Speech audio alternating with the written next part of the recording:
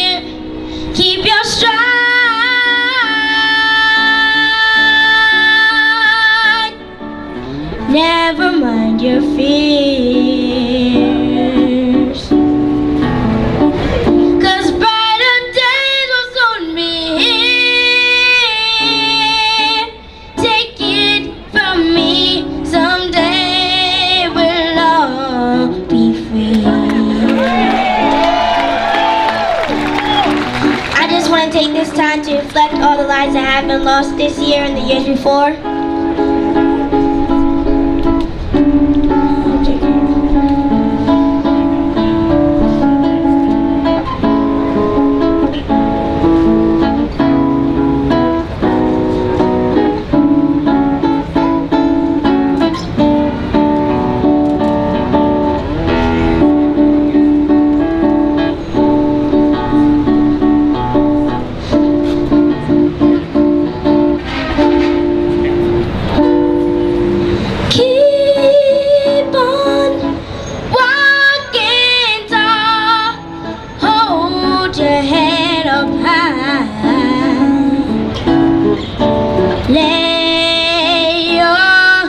Dreams right up to the sky.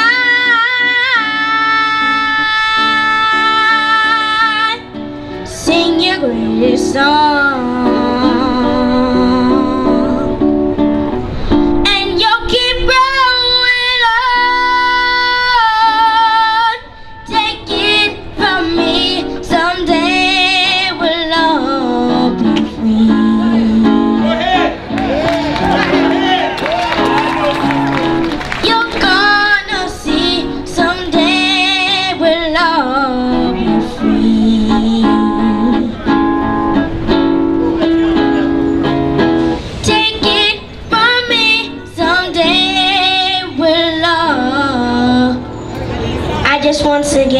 To bless all the families that have lost their family members. Be free.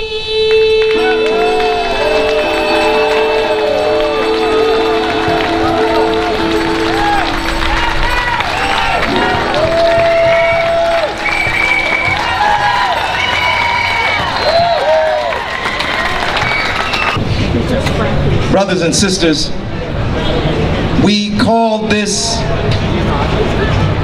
march today in July to coincide with the 48th anniversary of the Newark Rebellion. We don't call it a riot. It wasn't a riot. It was a rebellion against oppression.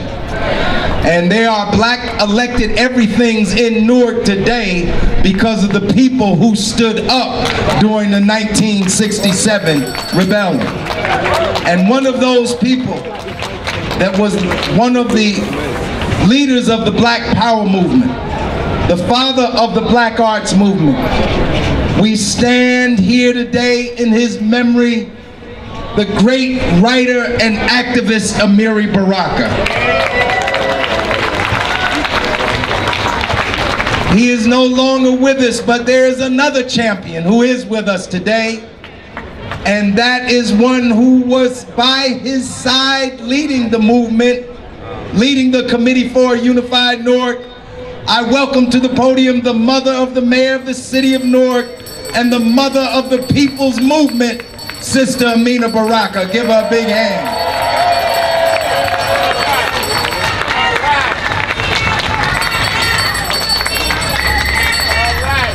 To the people. Thank you. Thank you. I want to talk about Bob Marley too. Get up, stand up, stand up for your rights. Get up, stand up, Don't give up the fight. That's right. This is not a poem. This is a call for justice. I am here for the future of our children. I am here for the right of education, public education, not charters, public education. We want local control.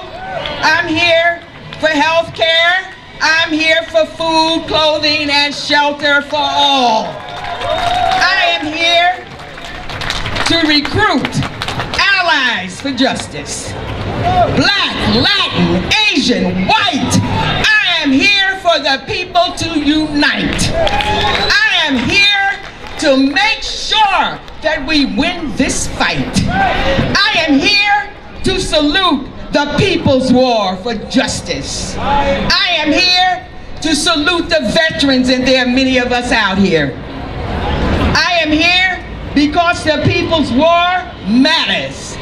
Black lives matter, people's lives matter. I don't know who came up with the slogan, Black Power Matters. No, Black Lives Matter. We've had Black Power and it turned on us. We want Black, Latin, Asian, white, but we want to make sure that Black people have their rights. I'm here to free all political prisoners. I am here to say that we go into those prisons and stop them from turning them into recruit officers for gangs. I'm here to say that we must go in there and make sure these prisoners have education, they have food, I mean good food, they get paid for their labor, and that they have classes, classes, they have entertainment, poetry. We did it in the 60s and we can do it now. They stopped it because the prisons have become a recruiting gang. For look what happened, how those prisoners broke out and come to find out the correction officers and what have you was involved in it. We need to turn it into rehabilitation centers. Reform schools. You're not supposed to go to prison it to become a gang member. You're supposed to go to prison to get reformed. And I am here against the death penalty, by the way. And I am here again to salute all you veterans out here. I've been marching for many, many years and I see many, many faces out here. And I want to say to you, thank you, thank you, thank you, thank you. I salute our veterans. They are prisoners of war and we are veterans of a war. Thank you. But right now, we're going to hear from the families of those who were murdered by the police. Some of their cases are still active, some of their cases are active in the streets. There are no inactive cases. A case is, a case is active as long as you're fighting for justice in that case. But the first person I want to bring forward is the mother of Abdul Kamal, who was killed by Irvington police, fired upon 15 times, hit 10 times. Like Amadou Diallo, the only thing he had in his hand was a cell phone. Please welcome in the strongest possible way, Michelle Kamal, the mother of Abdul Kamal.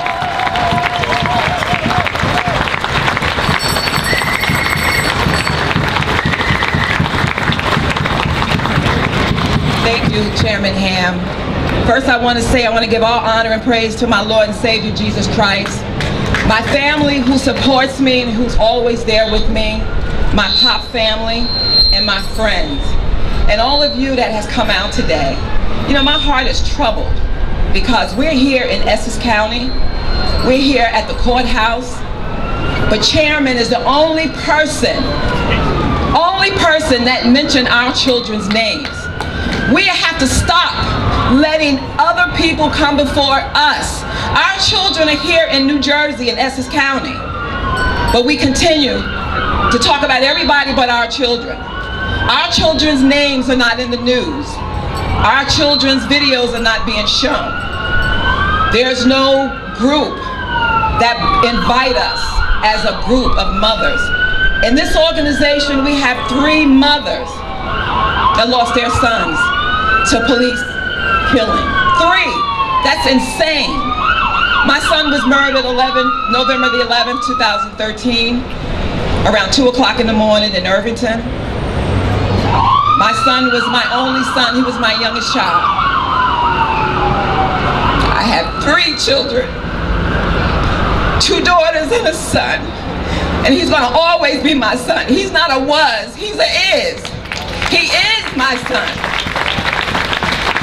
The police, they cannot take the joy nor the peace away from me. That was given to me by God.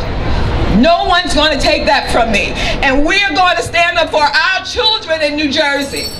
Abdul Kamal, Kashad Ashford, and Jamal Reid. Those are our children, but no one talks about our children. But we're going to talk about them. We're going to make sure no one forgets. So that's why we're here today. And we thank all of you for coming out today. We thank you so much for coming out today. I don't want what happened to the three of us to happen to you. So people, please get involved in organizations that are actually doing something good.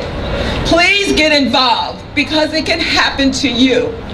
We never thought we would get a call that our sons are never coming home, that they will never see their children or their wives. Our children have fathers and mothers, sisters and brothers, and they all miss them. Normally, I'm fine, but sometimes we have a bad day. November the 11th will be two years, and it's like it just happened. So I thank all those that support me. I truly do. And I thank you all for coming out. Please, please get involved. Thank you.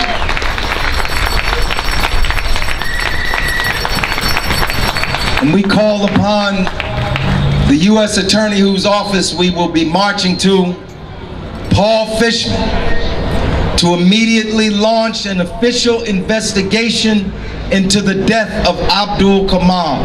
Those who killed him must be held accountable. They cannot walk away from this.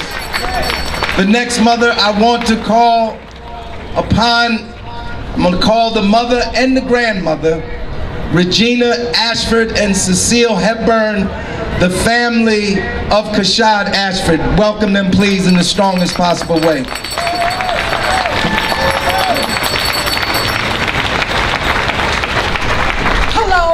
Regina Ashford.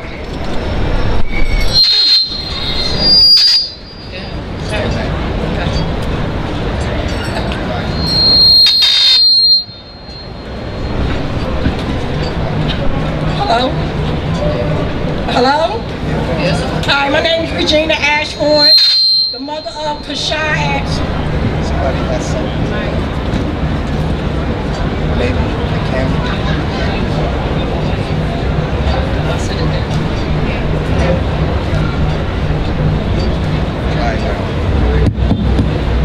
Hello? Hello, my name is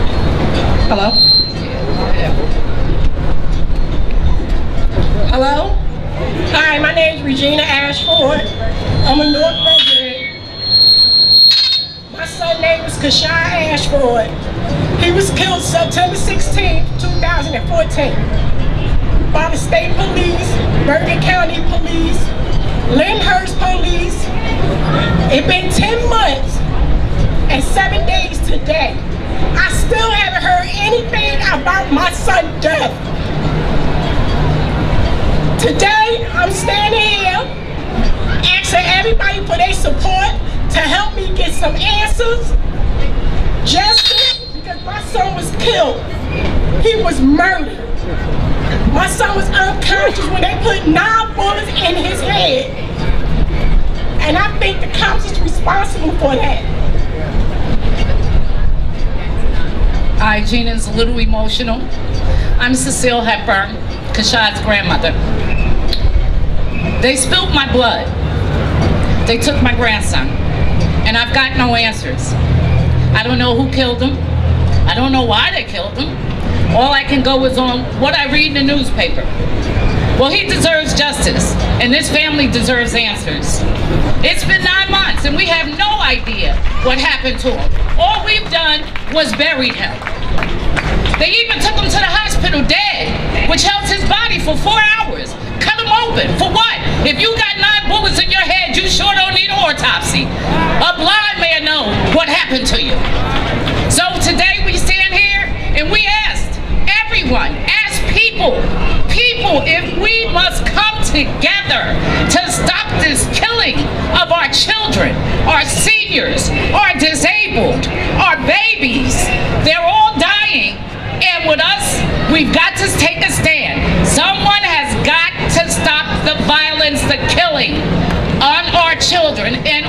people. I thank you, and I'm glad to see so many of us out here in support to stop all the killing, but we have got to take a stand, because I am not going to stop until someone tells me what happened to my grandson. Let's hear for the Ashford family. Give them some support.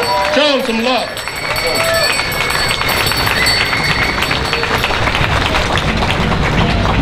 Rome Reid family here. Come on up here, sister.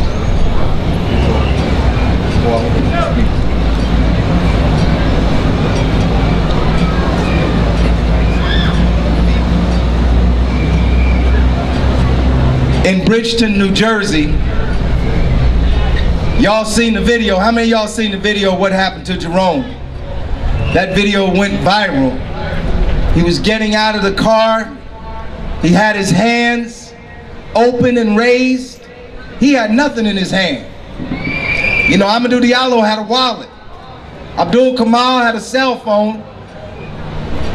Jerome didn't have anything in his hand and he was shot dead in the street. Let's welcome in the strongest possible way his mother and his father, his brother and sister and family.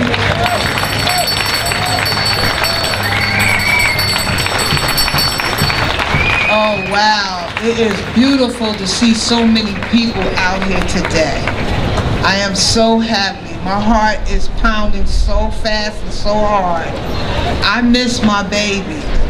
Jerome was my middle son. This is my oldest son. This is my baby. This is Dwayne. This is Sean. This is my niece. We miss Jerome. Jerome didn't have to die the way they, the way he died. Bridgeton shouldn't, Bridgeton's police officers didn't have to open fire on him like that. It was only two officers, Officer Worley and Officer Days. I would like to see them prosecuted to the fullest, but right now they're not um, doing anything. It's been six months since they uh, done anything. He, he died December the 30th, 2014 at 11 something that evening. I saw him Christmas Day along with my grandson. This is my grandson and my son on my chest. Uh, my grandbaby was only three months old when he died, when his father died. Now he has no father, and I want justice. I want justice for my son. I want justice for my grandson. Because my grandson's gonna grow up not knowing his grandfather. And I hope to God that I'll live the, long enough to see my grandson get justice. You wanna say something? Okay. You wanna say something? Uh, my name is Munir Muhammad. Assalamu alaikum. Power to the people.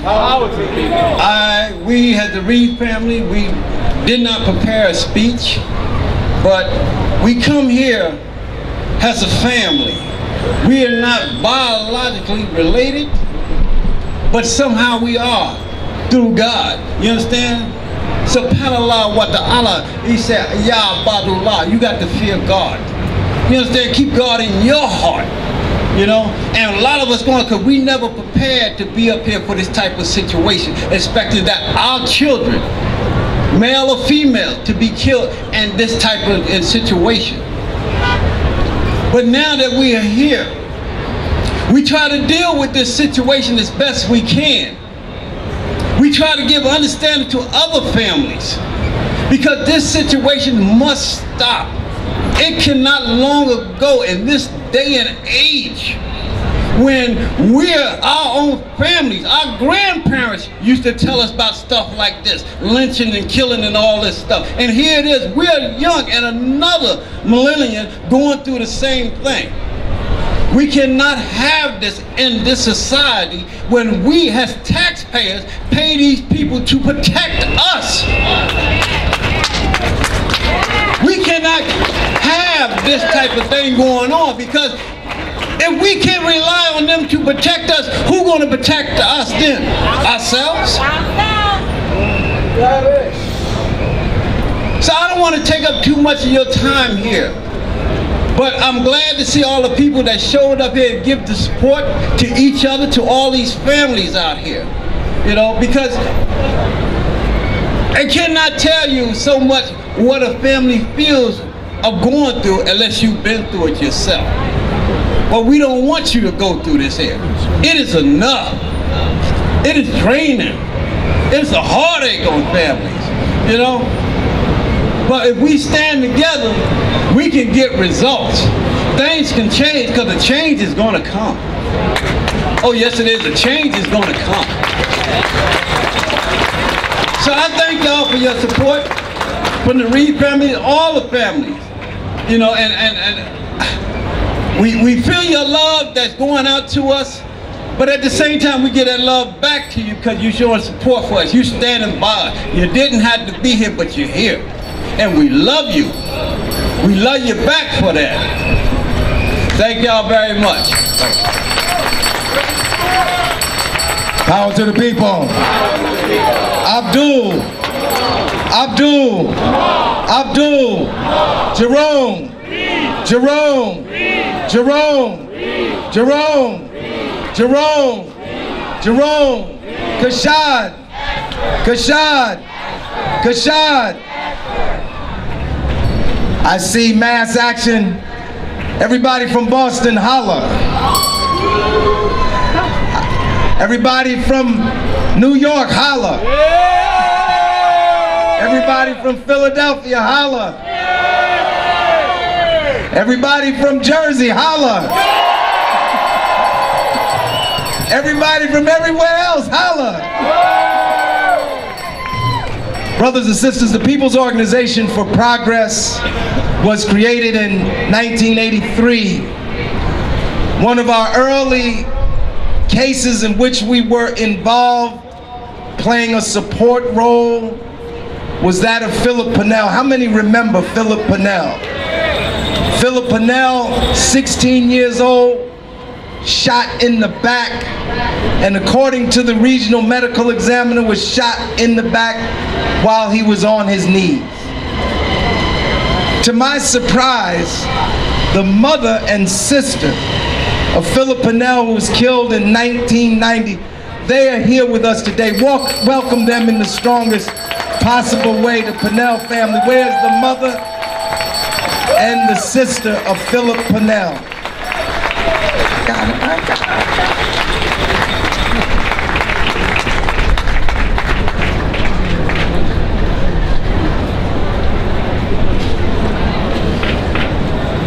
In 1990, my son was shot in the back with his arms in the air, with his hands in the air. And his partner said, Spath was the, the police officer shot him in the back. Blanco said if he hadn't shot him, he would have. So that's telling me he would never had a chance in life. And this has been 25 years ago that this happens. Every day I hear of some young man been shot. It just keep on, keep on coming up in my, just bringing up memories. You could never go on with your life like that. There's no way.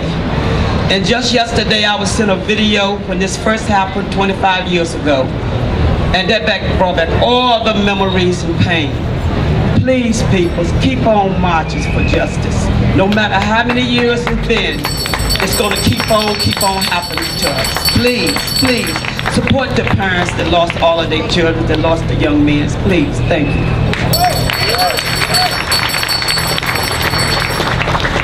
I just wanted to say that um, I thank everyone for coming out. Um, like my mom said, it's hard to forget. It's been 25 years since my brother was murdered, shot in the back with his hands up high in the air. Um, as far as us being out here thinking that we're going to get justice and ways of marching, we have to, like Mr. Hamm said, we have to do, create like a radical movement you know, and let the, let it be known that we're not just going to do this. If we're going to rally, let's rally in front of the politicians' homes. Let's go to D.C. and rally in front of the White House. And if we have to do it every day, then that's and if, if that's what it takes, then that's what we're going to do. Because 25 years to see Sandra Bland, Mike Brown, Eric Garner, and all the other countless cases. I mean, it's mind-boggling. I, I sit in front of the television all the time just crying in tears and I, and I have no more tears to shed. That's why I'm here today.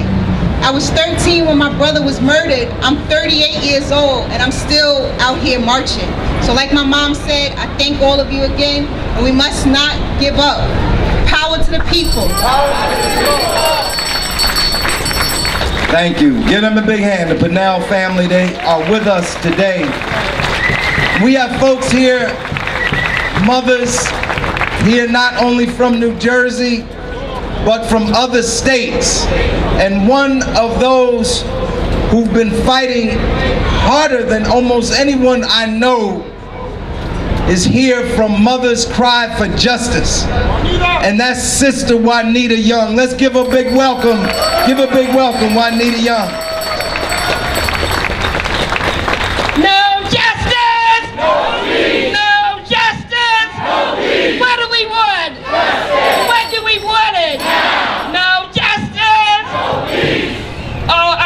So happy to see so many, many people out here today. For the past 15 years I've been out here trying to fight for justice for my son Malcolm Ferguson when he was murdered March 1st of 2000. Since the murder of my son I have met so many families and so many mothers and, and, and just so many good people.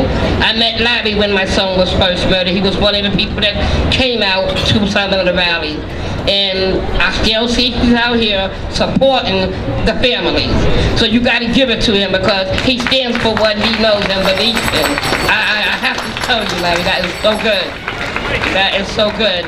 But my son Malcolm was murdered March 1st of 2000 in the Bronx. The cop who murdered my son admitted he murdered my son for no reason. The DA refused to um, to take his case to a grand jury.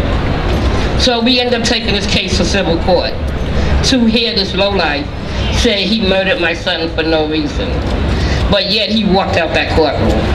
How can you admit to murdering somebody and not be charged? So I'm still right now have learned new information on I'm going to take another step to try to get this cop Louis Rivera in the Bronx for the murder of my son.